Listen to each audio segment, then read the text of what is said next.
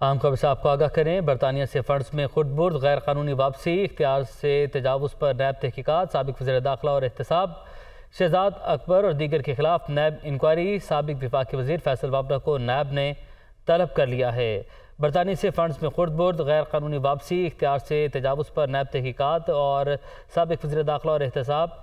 शहजाद अकबर और दीगर के खिलाफ नैब इंक्वायरी, सबक विफाक वज़ीर फैसल बाबरा को नैब ने तलब कर लिया है और नैब ने बरतानी से फंड्स खुदबुर्द केस में फैसल बाबरा को कल तलब किया है। आमिर सईद अब्बासी हमारे साथ मौजूद हैं। आमिर सईद अब्बासी बताएगा फैसल बाबरा को कल तलब किया गया है।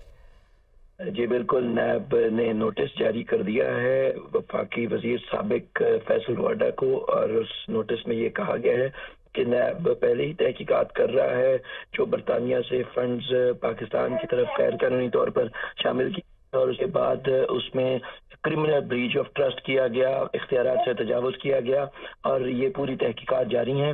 इसी में बतौर काबीना रुकन इमरान खान के काबीना रुकन के तौर के ऊपर नोटिस जारी किया गया है फैसल वाडा को और ने कहा गया है कि कल दो बजे वो नैब के दफ्तर में पेश हों और नैब की जो कम्बाइंड इन्वेस्टिगेशन टीम है उसके सामने पेश होकर अपना बयान रिकॉर्ड करवाएँ और उसके बाद नैब इस तहकीकत को कर रहा है।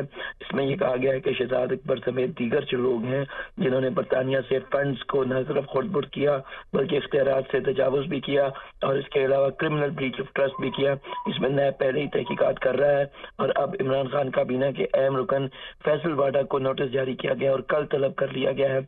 और ये कहा गया है कि कल दो बजे वो नैब रावलपिंडी के दफ्तर में जो कम्बाइंड इन्वेस्टिगेशन टीम है, उसके सामने पेश होकर अपना बयान रिकॉर्ड करवाएँ। ठीक है, आपने अपडेट किया। आमिर सैद अब्बास से आपका बहुत शुक्रिया।